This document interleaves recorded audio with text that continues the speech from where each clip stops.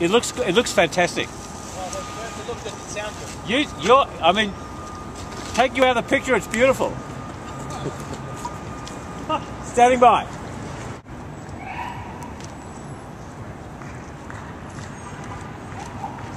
In this classic Jerry Herman show opened on Broadway, it was called Dolly the Damn Exasperated Woman.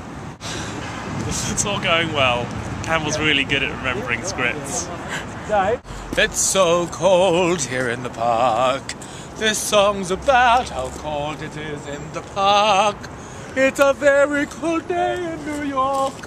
New York almost rhymes with park, but it sounds like pork.